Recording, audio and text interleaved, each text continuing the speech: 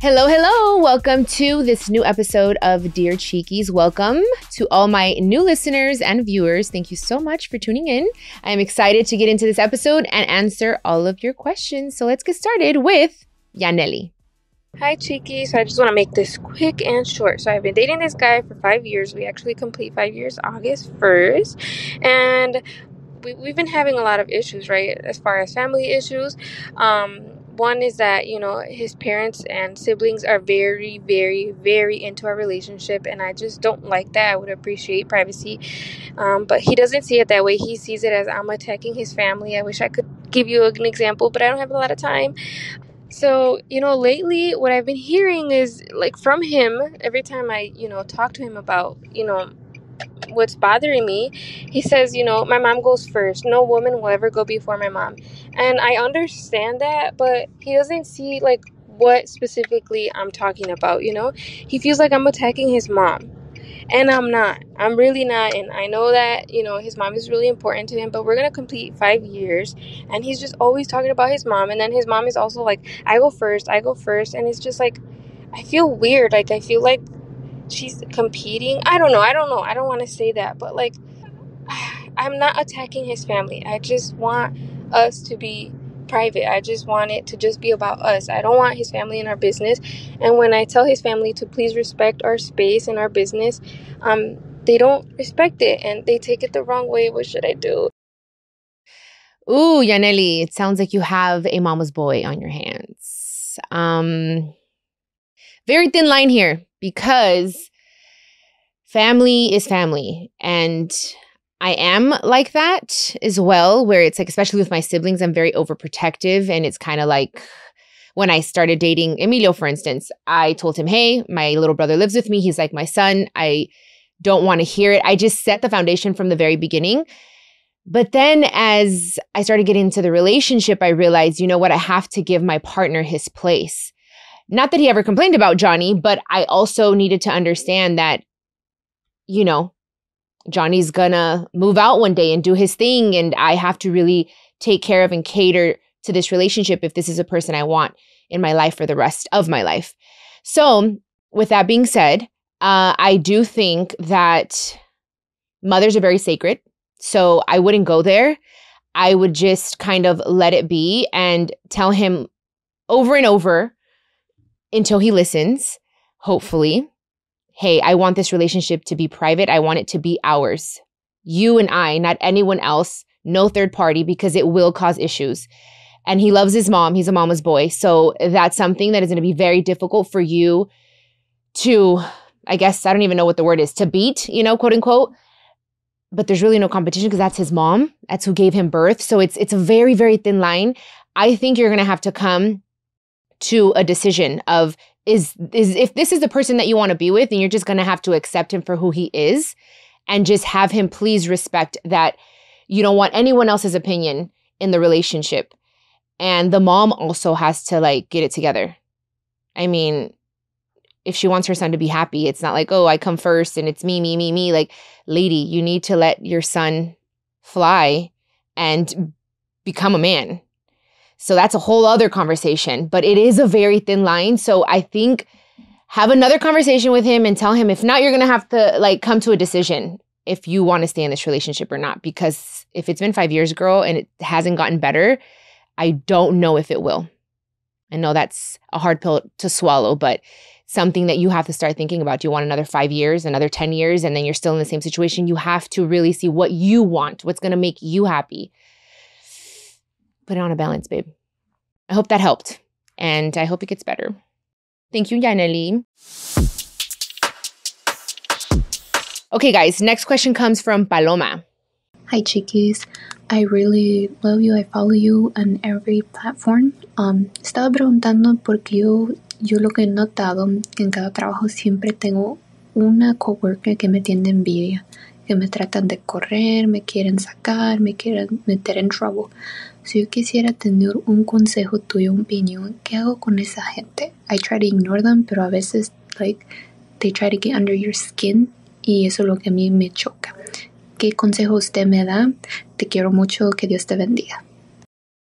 Okay, Palomita. Um, okay, so Paloma was saying that she needs some advice because it seems to be that every job that she has, there is always a coworker that is either trying to get her fired or picks fights with her, and she tries to ignore them, but it just frustrates her, which I, I get. So she's asking for advice as to what I think she should do.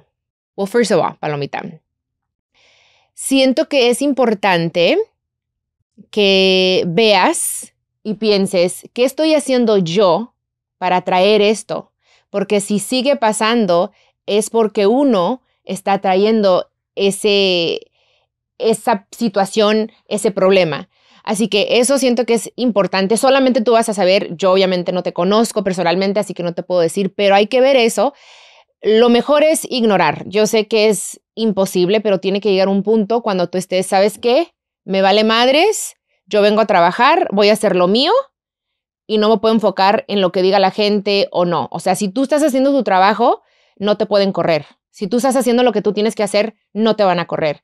O sea, si te están pica y pica y te molesta y ellos ven que te molesta eso, van a seguir chingando, you know? So it's better y es mejor que los ignores y que tú vayas oídos sordos y tú enfocada. Porque siempre en la vida, no importa dónde vayas, siempre va a haber alguien que va a estar picando la cresta, no más porque les gusta verte enojada. Believe me, yo sé lo que te digo, así que ignorar, yo sé que es súper difícil, pero medita cada que, que entres al trabajo y, y di, ¿sabes qué? Yo voy a estar bien, yo me voy a enfocar, yo voy a estar en lo mío, respira profundamente y que se te resbale. A chingar a su madre esas cosas negativas. ¿Ok? Okay, so I'm going to try to do this quickly in English now. So, what I told Paloma was that she needs to first really do a heart check and figure out what it is that she's doing to attract these situations. Because if we continue with certain problems and situations in our lives it's because we are attracting them in one way or another. So I told her, try to see what that is so that you can prevent this from happening. And also, as hard as it is, she needs to really just continue ignoring these people and just stay focused, try not to listen, go into work and take deep breaths. And if she's doing her job and doing what she needs to do, there's no reason why she should get in trouble. And if or get fired if she's doing her job, ignore them. The thing is, is that they're probably saying that it bothers her and they get satisfaction out of that. So, what do you do when that happens? You do the opposite. You just smile and just be a happy person, and then they'll get bored and they'll stop doing it. That's what I told Paloma. Paloma, espero que te ayude eso. Ahí nos avisas qué pasó. All right, guys. So we're going to go to the next uh, question from Katelyn. Hi, Chiquis. So, I've been a huge fan of yours for the past five years and a huge fan of your mom's since I was nine. So, I'm like, I'm 23 now. Um, though I'm fully Portuguese and Brazilian, I grew up in the dual immersion program and was immersed in the Mexican culture. So, I've always deeply connected with Música Regional de Mexico. Nice. Uh, my parents and family immigrated to the U.S. from Portugal. And I feel like I identify with the way your mom grew up here, especially in Cali. I'll be at your concert in Fresno I think it's December 7th, I'm pretty sure. And I hope that it's not weird that I'm not Mexican. I just truly love your music and what you do. I also never got to see your mama in concert, so my mission is to see the beautiful daughter she created. So I was just like wondering what your thought was on that because I always get flack. Everyone's always like, Juanita, why are you listening to that music? But I love it. Anyways, on another note, um, I also wanted to ask I know you went through sexual abuse as a child, and I also went through a similar experience. So, like, how did you regain your faith in God? I hold a lot of like contempt and fear towards him because of the pain and loss I've experienced. So I was even thinking about hitting up Jackie because she's faith based too, and I've been really wondering about it because you guys are so spiritual. But anyways, thank you for all that you do, and I love you and pray for you always. Oh, Katelyn, thank you so much. Thank you for taking the time to send me a message, and and and I don't think there's anything wrong with it. If anything, it's a huge compliment to to me, to my mother. I'm sure it it, it would be it is because she's hearing and seeing all of us, you know? Um, so thank you. Thank you for listening to our music and thank you for going to my concert in Fresno. I'm so excited. I cannot wait to get back on stage, you guys. I miss it so much. So I can't wait to hopefully meet you, Katelyn. Um, and yeah, I think it's great. So F whatever other people say. You like what you like, girl. Music is universal and it's its own language.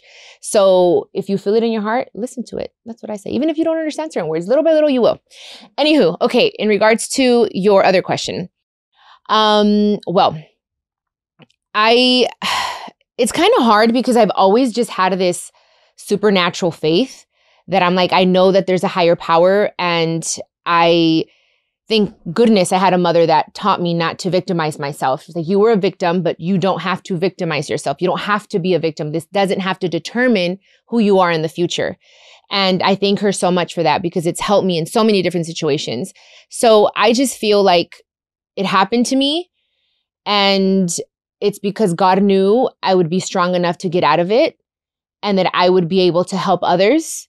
Even if you don't have your own podcast or you're not on television, I think like even if you do it in your workplace and you help other people because it happens a lot, unfortunately, so much. And if you could be a voice of strength to other people, um, that I think helped me get through it and, and just know, okay, God, I don't know why it happened. I'm not going to question it. Just the way I can't question why the sky is blue and it's not purple or it's, it is what it is and I can't change it. I can just change my reaction and how I choose to see the future and how I'm not going to allow this to determine who I am meant to be. It takes a lot of mental strength and it's it's something you have to like a muscle you have to exercise every day to strengthen it more and more and more. Um, but if you sit there and you're like, "Oh my god, this happened to me. Why me?" Like it's you're just to just dig yourself into a deeper hole. So that's why you have to kind of climb yourself out and say, "You know what? It happened it's something that happened to me. It's not who I am. That makes sense. And I just know that God is good. And I, I just I, that's I don't even know how to explain it. I just I just know that there's a higher power and I just focus on that and it's helped me with everything in my life. And I said this in, in an episode. I'm only as strong as my faith. So I hope that helps. Um, definitely would love to hear from you again and we can get a little deeper in this in this conversation. You know what I mean? Uh, but sending you a big hug, Katelyn, and I hope to see you on December 7th. I'm excited. Okay, guys, our final question comes from Gisselle. Hi, Chiquis. A very big fan. I love you a lot. I lost my mom at a young age too, and I made a similar promise to my mom, like you did. My last words to her were that um I'll take care of my sister to the best of my ability and she can go rest. And I made that promise in 2020 and I've kept up with it. My sister was 16 at the time and you know, she's gotten older obviously. And my question to you is in those moments of anger and moments where you and your siblings can't see eye to eye, how do you reassure yourself? I struggle a lot you know, as my sister has gotten older, sometimes like she'll tell me, You're not my mom, you don't get me. And it's like, I'm trying to, you know, there's no manual on this on how to learn how to be a guardian but still be a big sister. Yeah, I just wonder like how how you handle that so gracefully. And I'm all ears for any tips. Again, I love you very much and I hope you guys are doing good. Oh, Gisselle, I get it. I get it. Trust me. um, I've had to learn throughout the years that as much as I want to be a second mother and I want to keep my promise to my mom, my siblings have a mind of their own. They have their lives to live, and I have to respect them as human beings. And the way I keep my promise to my mom is I'm there through good times and through bad times when Johnny was being a crazy little boy and I didn't know what to do, I would just get on my knees and I'd cry and I'd pray. I'm like, give me the strength, give me the words to guide him because it was very hard. So I think it's just knowing, you know what, they're going to do what they're going to do. I have to let them learn sometimes the hard way. And I just have to be there when and if they need me. And even if they don't, just, hey, I'm here. I'm going to love you through this. I'm going to have your back through this. I'm not always going to agree. I'm going to tell you where I think that you're wrong, but I still love you. And that's all you can really do. That is being there for your sister. That is being there for your sibling. Like, that's all you can do. You can't force anything. You can't force anyone to be something that they're not. And life is going to happen and we just have to let it be and pray through it. And now I just leave my siblings to God sometimes. And I'm like, God, you take care of it. Mom, help me. And that's all. And I'm there. And now I've become the big sister. And it's sometimes hard to see. I'm like, oh, they're going to fall on their face. And I know it. But okay, I'll be there. And I'm not going to say I told you so. I'm just going to be like, all right, come on, pick your ass up. So that's all you can do, babe. And I hear it in your voices. I know you were crying and I know this is difficult, but you are doing your best and you are still keeping your promise to your mom no matter what. So you should be proud of yourself. Okay. All right, guys. Thank you so much. This finalizes this episode of Dear Chiquis. Thank you so much for your questions. Thank you for listening, guys, for viewing my podcast. And if you have a question about anything, I will answer with all of my heart with your best interest at heart. Okay. Leave your question at speakpipe.com slash chiquis and chill podcast. Los quiero mucho. This is a production of iHeartRadio and My Cultura Podcast Network. Follow us on Instagram at My Cultura Podcasts and follow me, Chiquis, that's C H I Q U I S. For more podcasts from iHeart, visit the iHeartRadio app, Apple Podcasts, or wherever you get your favorite shows.